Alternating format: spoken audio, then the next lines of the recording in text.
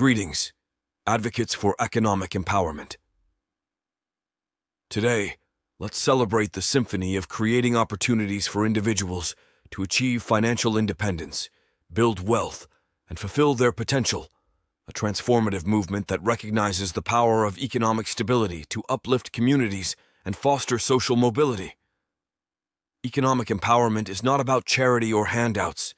It's about creating pathways to prosperity through access to education, job opportunities, entrepreneurship, and financial resources.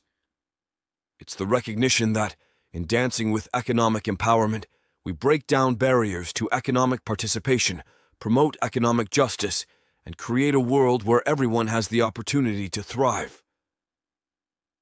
Consider the transformative power of economic empowerment, the way it lifts families out of poverty, strengthens local economies, and creates a symphony where every individual has the chance to build a better future for themselves and their loved ones. With economic empowerment, we become architects of change, working to create systems and policies that promote economic inclusion and opportunity for all.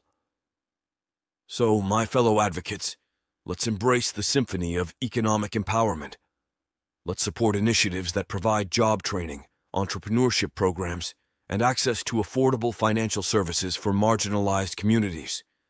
And remember that, in the symphony of economic empowerment, we have the power to create a world where everyone can achieve their dreams and contribute to the prosperity of society.